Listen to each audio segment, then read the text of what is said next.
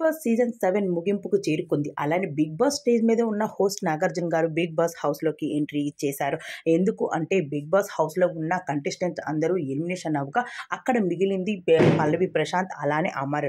అయితే వీరిద్దరిని big boss stage మీదకి తీసుకెళ్ళడానికి హోస్ట్ నాగార్జున గారు ఒక్కరే బిగ్ బాస్ స్టేజ్ మీద నుంచి బిగ్ బాస్ హౌస్లోకి ఎంట్రీ ఇచ్చేశారు. అలానే వీరిద్దరిని రెండు చేతులతో పట్టుకొని తీసుకొని వెళ్తున్నారు. అలానే బిగ్ బాస్ స్టేజ్ మీదకి వెళ్ళి అక్కడ ఎవరు అన్నది విన్నర్ ఎవరు రన్నర్ ఎవరు అని చెప్పుకొచ్చేస్తారు. అయితే బిగ్ బాస్ హౌస్లోకి ఇప్పుడు హీరో నాని గారు కూడా ఒక బ్యాగ్తో ఎంట్రీ ఇచ్చేస్తున్నారు. అయితే ఆ మనీ బ్యాగ్ను బిగ్ బాస్ హౌస్లో ఉన్న కంటెస్టెంట్ ఏ కంటెస్టెంట్ అయితే తీసుకొని వెళ్తారో వాళ్ళ డబ్బులతో సహా బయటికి వెళ్ళిపోవాల్సి ఉంటుంది. అయితే బిగ్ బాస్ హౌస్ నుండి ప్రియాంక అయితే మనీ పట్టుకొని వెళ్ళిపోతుంది అంటూ వార్తలు అయితే వైరల్ అవుతున్నాయి. మరి మీరు హీరో నాని గారు బిగ్ బాస్ హౌస్లోకి ఇప్పుడే ఎంట్రీ ఇవ్వబోతున్నారు. అయితే ఆయన ఎంట్రీ వచ్చాక బిగ్ బాస్ హౌస్ నుండి ఎవరు ఎలిమినేషన్ అవుతున్నారు? అలానే పల్లవి ప్రశాంత్ అమర్ అయితే విన్నరు రన్నరు వీరిద్దరిలోనే. అయితే హోస్ట్ నాగార్జున గారు బిగ్ బాస్ స్టేజ్ మీద నుంచి బిగ్ బాస్ హౌస్లోకి ఎంట్రీ ఇచ్చి వీరిద్దరిని తీసుకువెళ్ళడం జరుగుతుంది. మరి వీరిద్దరిలో ఎవరు విన్నారు ఎవరు అన్నది చూడాల్సింది.